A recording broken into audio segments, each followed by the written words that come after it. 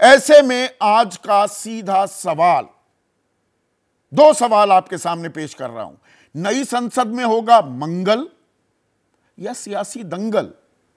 और 24 की लड़ाई विशेष सत्र पर आई।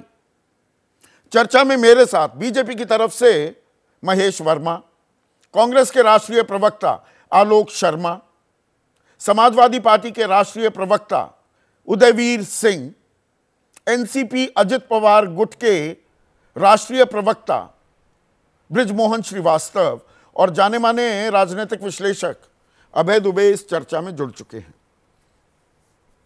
तो महेश वर्मा, वो गोपनीय जो जानकारी थी, चलिए थोड़ी सार्वजनिक हुई। संसदीय सफ़र पर भी चर्चा होगी, पचहत्तर साल में क्या कुछ खोया पाया, उसका लेखा जोखा उस पर चर्चा तो होगी। और चार बिल उन्हें पास करने की कोशिश करेगी सरकार। बस यहीं तक है बात। या कहानी में ट्विस्ट भी आ सकता है। 22 और 23 तक का इंतज़ार करें। यूँ ही तो नहीं बुलाया है विशेष सत्र कि चार बिल पास कराने थे।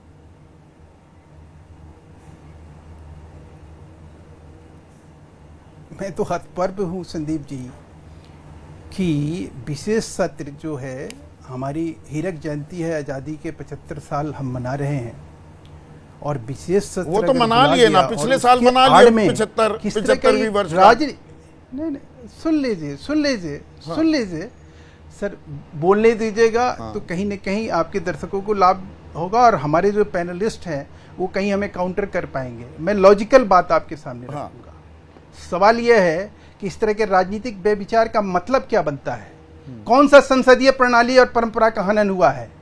कौन से ऐसे संवैधानिक प्रावधानों का उल्लंघन हुआ है?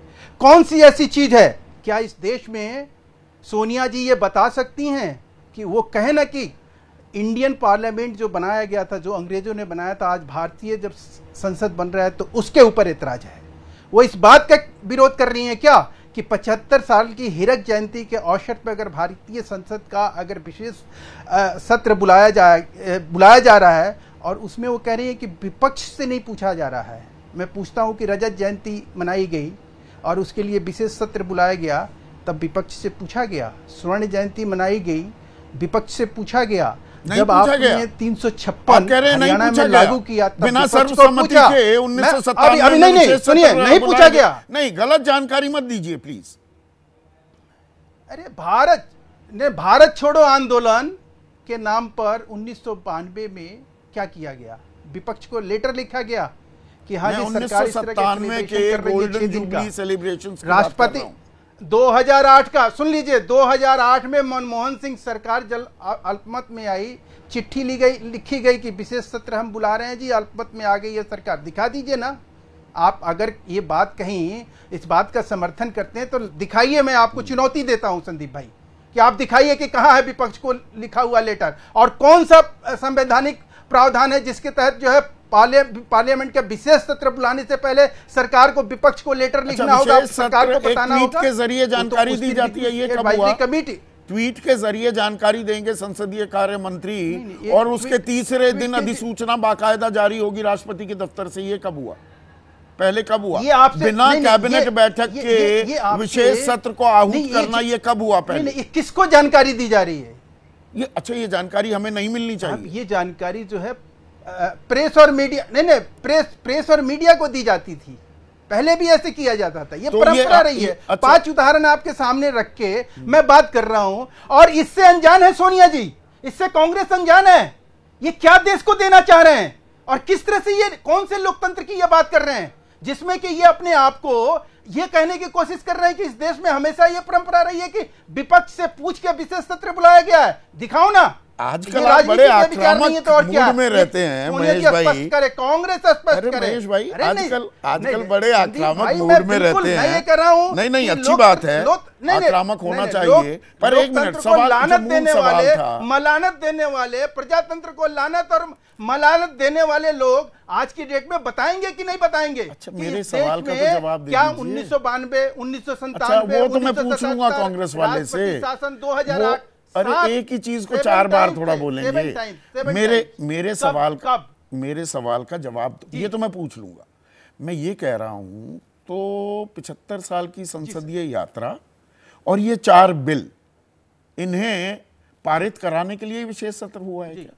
या there is a sting in the tail कहानी में ट्विस्ट आएगा। सर सर यही तो मूल सवाल। इसी को तो बेविचार में राजनीतिक बेविचार और क्या है? अभी तो अभी तो बिज़नेस एडवाइजरी कमेटी की मीटिंग होनी है। आप ये सारे इशू जितने सोनिया गांधी जी ने लिखी अपने पत्र में इस सारे पार्लियामेंट के फ्लोर पे चर्चा हो चुके हैं। ये क्या मतलब है? अच्छा मतलब महँगाई बेरोजगारी किसानी मणिपुर हिंसा चीन हमारी धरती पर कब्जा जमा रहा है क्या और बढ़ा रहा है क्या उस कब्जे को इन सवालों के पर कोई चर्चा की ज़रूरत नहीं। भाई आप ना ना ना। नहीं इन सवालों पे कोई चर्चा हुई नहीं। पार्लियामेंट इस पे चला ही नहीं। पार्लियामेंट में इस पे कोई दो शब्द बोला नहीं गया। क्या कमाल की बात है। हम किस देश में रहते हैं? हमें तो समझ में ही नहीं आता है कि एक आम आदमी से पूछिए कि मणिपुर पे चर्चा हुई या नहीं। लोग बता देंगे कि मणिपुर पे क्या हंगामा काटा गया। किस तरह की बातें हुई? चाइना पे क्या बात हुई? चाइना पे स्पष्ट रूप से रक्षा मंत्री जी ने स्पष्टता के साथ जो फ्लोर पे बात कही उससे भी डिनाई कर देंगे। अरे इस तरह से झूठ इस तरह से फरेब। अच्छा ये भी ये राजनीतिक फरेब नहीं कहेंगे तो क्या कहेंगे इसे? महेश भाई ये भी लोकतंत्र पे लानत और मलानत भेजने का ये कौन सा तरीका है? अच्छा सुनिए तो। सुनिए तो इतना परेशान क्यों हो रहे हैं? बजट बिना चर्चा के पास हो गया कि नहीं, नहीं, नहीं हुआ। देश के वासी बाईस विधेयक पारित हुए उनमें से बीस पर एक घंटे भी चर्चा नहीं हुई। नौ पर तो बीस मिनट से कम चर्चा हुई।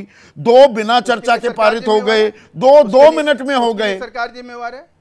किसकी ज़िम्मेदारी होती सरकार जिम्मे किसकी ज़िम्मेदारी उसके लिए सरकार जिम्मेवार है। कौन है जिम्मेदार? विपक्ष ने मांगा राहुल जी की कितनी उपस्थिति? नहीं नहीं मैं ये पूछ रहा हूँ जो जिम्मेवार विपक्ष है उससे पूछिए ना उसका काम है। अच्छा विपक्ष का काम होता है चर्चा करवाना चर्चा संसद को चलाना विपक्ष की ज़िम्मेदारी है सर।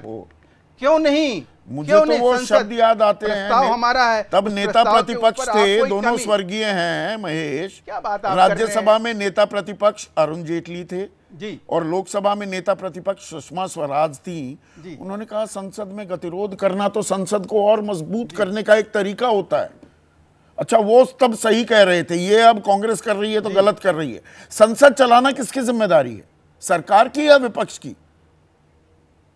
नहीं आप अगर अगर सुषमा नजमा हफ्तुल्ला जो है उपसभापति थी उनका हमने एक बार ये भी सुना कि उन्होंने कहा कि जो भी प्रस्ताव आते हैं सरकार के अगर उस प्रस्ताव को वो बेशक छोटा से छोटा हो मुद्दा या बड़ा से बड़ा हो मुद्दा चर्चा की भी ज़रूरत विपक्ष को उसको अच्छी तरह से समझ के और उसके जब चर्चा के बिना बिना ही करानी चाहिए उसके ऊपर। पारित करा लेते हो तो ये चार विधेयक लाने की क्या ज़रूरत है? बिना चर्चा के पारित करा लेते अरे साहब सांसद नहीं सर विपक्षी जो विपक्षी सांसद हैं उनका काम क्या है? वो किस बात की सैलरी लेते हैं? किस बात की भत्ता अच्छा। लेते हैं?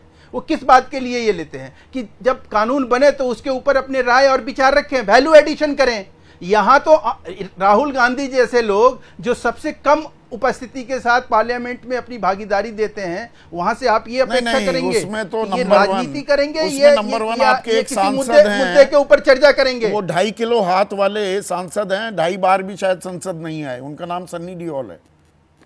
चलिए सर मैं कह रहा हूँ कि मैं हाँ वो सन्नी देवल की बात समझ में आती है अच्छा समझ में आती है। और सन्नी देवल की तुलना अच्छा उनके लिए अच्छा राहुल अच्छा। गांधी वो सांसद नहीं राहुल गांधी वो सांसद तो कहिए ना तो आप कहिए ना आप कहिए ना कांग्रेस के भी आप अरे संदीप भाई आप कहिए ना। मुझे क्या लेना देना कांग्रेस से और राहुल मैं सबकी पोल पट्टी खोलने के लिए बैठा हूँ यहाँ पर। आप, आप अब एक मिनट आलोक शर्मा क्योंकि आप ये नहीं बता रहे मुझे अभी भी आखिरी एजेंडा क्या है? ये सिर्फ़ चार बिल पारित कराने के लिए ही क्या संसद का विशेष सत्र बुलाया गया है? पत्रकारिता कोई इमोशन नहीं है। ना अपना कोई ज्ञान देना है और ना कोई विचार थोपना है। पत्रकारिता क्या है?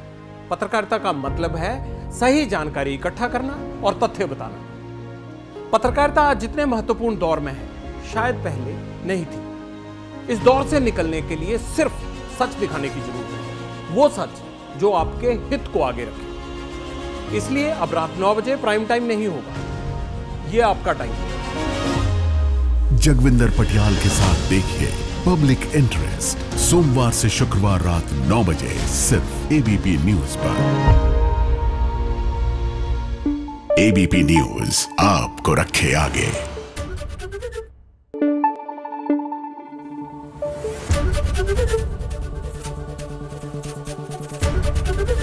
एबीपी न्यूज़ आपको रखे आगे।